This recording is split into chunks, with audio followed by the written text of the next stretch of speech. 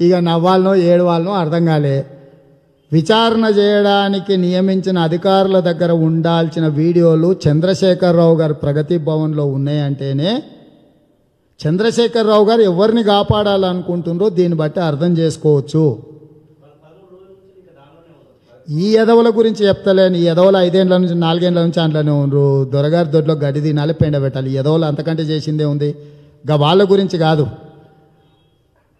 అమ్మకాలు కొనుగోలు జరిగిన ప్రజాప్రతినిధుల విషయంలో పోలీసులకు ఫిర్యాదు చేసిరు పోలీసు ఉన్నతాధికారులు అక్కడ కెమెరాలు బిగించి వీడియో రికార్డ్ చేసి ఆధారాలను సేకరించిండ్రు అధికారులు సేకరించిన ఆధారాలను అన్నిటిని కూడా కోర్టుకి ఇవ్వాలి కోర్టుకిచ్చి ముద్దాయిలను అరెస్టు చేసి జైలుకు పంపించి కస్టడీలకు ముద్దాయిలను తీసుకోవాలి విచారణ చేయడానికి ఈ ఆధారాలను కోర్టుకి ఇచ్చిన తర్వాత కోర్టు అనుమతితోని వాటి పరిశీలించడానికి అధికారులు తీసుకోవాలి.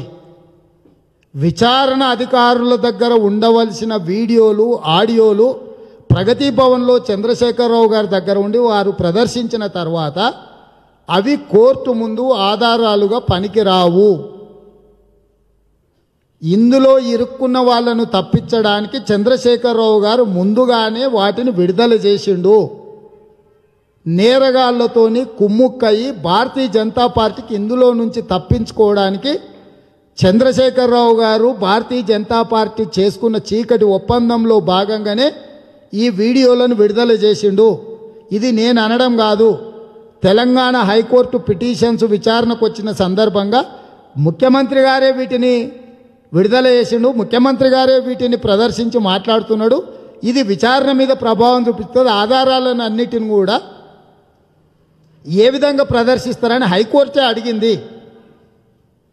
అంటే ఇందులో ప్రజల్ని మభ్యపెట్టడానికి అవసరమైన కా రాజకీయ కార్యాచరణ మాత్రమే ఉంది తప్ప దోషులను శిక్షించాలి లేకపోతే దోషులకు శిక్ష పడాలన్న ఆలోచన చంద్రశేఖరరావు గారికి ఏ కోశాన లేదు. దిస్ ఓన్లీ బ్లేమ్ గేమ్ ఈయన బుద్ధిమంతుడైనట్టు సత్యహరిచంద్రునికి ఏమంటారు అవిభక్త కౌల సోదరులు అయినట్టు సత్యహరిచంద్రుడు చంద్రశేఖరరావు ఇద్దరు తలకాయలు రెండు ఉంటాయి చూడు. వీణావాణి ఉన్నారు కదా తలకాయలు ఒకటే అతుక్కొని ఉండే బాడీలు రెండు. ఆ లెవెల్లో చంద్రశేఖరరావు గారు నటిస్తారు పత్రికా సమావేశం పెట్టి ఇంత దుర్మార్గం ఉంటుందా? ఇంత అరాచకం ఉంటుందా? ఇట్లా ఎమ్మెల్యేలు అనుకుంటారా? అసలు ఇది ఎప్పుడైనా సమాజం చూసిందా? సమాజం ఏమైపోవాలి? వంద ఎలకలు తిన్న పిల్ల అంటే తీర్థయాత్రలకు పోయిందంట నా అంత మునగాళ్ళేడని మరీ సిగ్గు తప్పిపోయింది ఆ చంద్రశేఖరరావు? సిగ్గు అనే పదం కూడా సిగ్గుపడేటట్టుంది చంద్రశేఖరరావుతో పోలిస్తాయి ఆయన ఆయన ప్రెస్ మీటు నువ్వు చెప్పినావు కదా ప్రదర్శించడు ప్రెస్ మీట్ అని.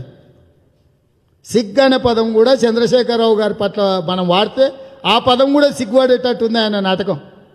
ఎవరే వాళ్ళు ఎడగొనుకోపోయిండు అమ్ముడు పోయినోడు మళ్ళీ అమ్ముడు కూడా ఆ సన్నాసులను మా దగ్గరికి వెళ్ళి కొనుక్కపోతివి. కుక్క నువ్వు ఏమన్నా బిర్యానీ పెట్టు.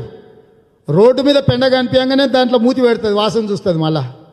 నువ్వు కావాలంటే కుక్కను చూడు. బాగా మంచి పచ్చపచ్చ పరమాణాలు ఇంట్లో విడిచిపెట్టు కుక్కకు. తిన్న తర్వాత రోడ్డు మీద కిడిచిపెట్టు రోడ్డు పక్కన ఉన్న పెంట కనిపించగానే మూతి పోయి అండ్లో పెట్టి వాసన చూస్తుంది. ఈ అమ్ముడుపోయిన కుక్కలు కూడా గంతమాసరివే ఆయన ప్రగతి భవన్లో పెట్టిండు కదా అని తిన్న విశ్వాసం చూపిస్తాడు. మమ్మల్ని మోసం చేసినోడు నేను మోసం చేయడా?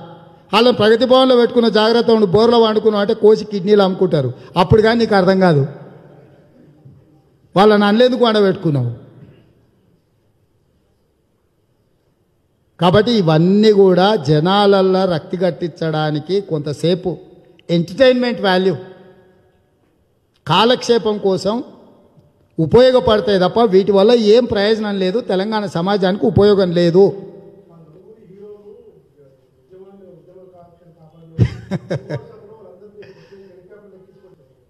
ఇప్పుడు నేను అదే చెప్పేది కదా వాళ్ళ నాయకుడు గట్లే ఉన్నాడు దండపాలెం ముఠాలాగా ఉండాలి. దండపాలెం మూట సినిమా చూసినావా? దాంట్లో వాడు ముఠానాయకుడు అదే చెప్తాడు మా అంత మంచోళ్ళే లేరని. ఊరి మీద దొరికిన పందులను కూడా వదిలేరు వాళ్ళు. పోత పోత దొంగతనాలే కాదు. పందుల్ని కూడా పెంట మీద దొరికిన పందుల్ని కూడా పొడిచి చంపి కోసుకొని తీసుకొని పోయి కోసుకొని తింటారు. కోర్టుకు పట్టుకరాగానే అబ్బా మేము అసలు నేరవే చేయలేదంటారు. ఇక దండుపాలే మూట లాగుంది. కేసీఆర్ ఆ నలుగురిని చూస్తే. Hi friends. మా ఫ్యూచర్ టుడే ఛానల్ చూస్తున్నందుకు చాలా థ్యాంక్స్. మరిన్ని లేటెస్ట్ వీడియోస్ కోసం వెంటనే సబ్స్క్రైబ్ చేయండి.